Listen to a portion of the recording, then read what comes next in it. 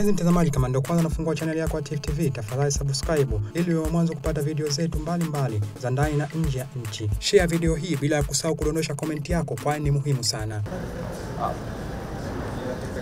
Juma, Juma, Juma.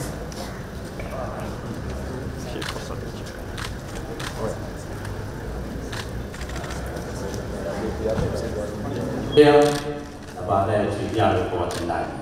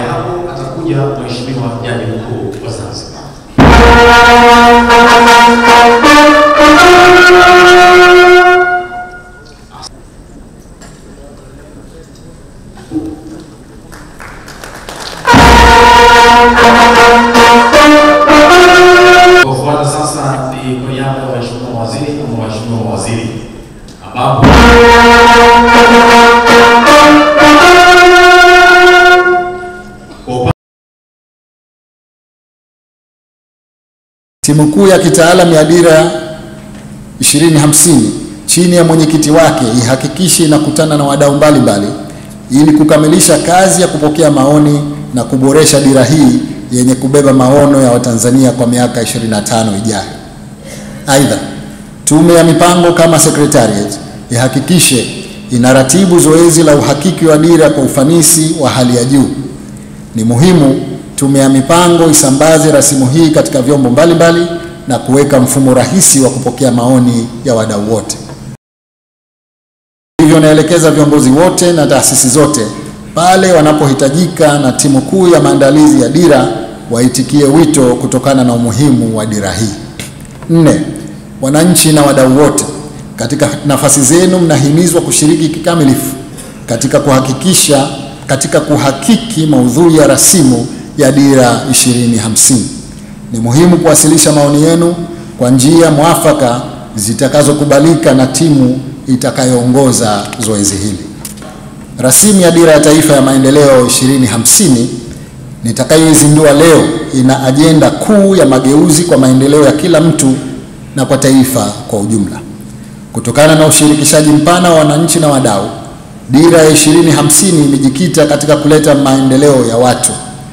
Hivyo dira mpya inabeba matamanio ya kila mmoja wetu na kuzingatia kasi kubwa ya mabadiliko ya teknolojia, uchumi, siasa za kimataifa na mazingira yanayotokea duniani kote. Rasimu ya dira yetu mpya imebeba kauli mbiu isemayo kuelekea taifa lenye ustawi, amani, haki, jumuishi na linalojitegemea, yaani towards a prosperous, peaceful, just, inclusive and self-reliant nation. Kauli mbiu hii ndiyo lengo letu kuu la taifa ifikapo 2050. Kwa msingi huo, hii ni ndoto ya kila Mtanzania kuona baada ya miaka 25 ijayo Tanzania inakuwa ni taifa lenye ustawi, amani, haki, jumuishi na linalojitegemea katika nyanja zote bila kuathiri ushirikiano uliopo kikanda na kimataifa. Rasimu hii ni ya Watanzania kwani wameshiriki kwa wingi kuitengeneza. Kamati yangu pamoja na wataalamu tulikuwa na kazi ya kuhakikisha kwamba maoni yote yanawekwa pamoja na kupatikana rasimu ambayo leo hii Mheshimiwa Rais utaizindua.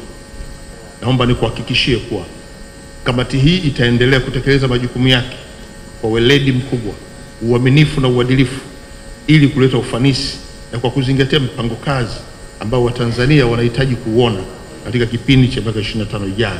tunao msingi mkuu yani foundation ambao hapo unaitwa ni utawala, amani, usalama na utulivu, na hii kwa kweli ndio eneo ambalo tumeliita jiwe la msingi la dira, kwamba bila hili misingi mingine yote itaanguka. Pili, tunazo nguzo kwa maana ya pillars zipo tatu. Nguzo hizi ni uchumi imara, jumuishi na shindani. Nguzo ya pili ni uwezo wa watu na maendeleo ya jamii. Uh, kwa hiyo ushiriki wetu uh, kama Zanzibar tuko vizuri sana, lakini uh, Mheshimiwa Rais, katika uongozi wako tayari tumeanza kuyaishi yale ambayo tunatamani kuyafikia elfu mbili na hamsini. Kwa mfano kutokana na maoni ambayo uh, walikuwa wakiyatoa, umezungumzia namna gani tunaweza tukenda katika cashless economy, na hili ndio jambo ambalo Mheshimiwa Rais umelipa katika mambo ambayo umeapa kipaumbele hapa Zanzibar. Ni kuingia katika mifumo ambayo kwanza itapunguza urasimu, lakini vile vile tutapunguza kwa kiasi kikubwa kuchukua kubeba kesh katika katika mikono. Tifu TV inakupatia video mbalimbali mbali kutoka ndani na nje ya nchi. Tafadhali endelea kutufuatilia kupitia chaneli yetu ya Tifu TV, YouTube, Facebook, Twitter na Instagram, bila kusahau kudondosha komenti yako, kwani ni muhimu sana. Tifu TV tupo kijamii zaidi.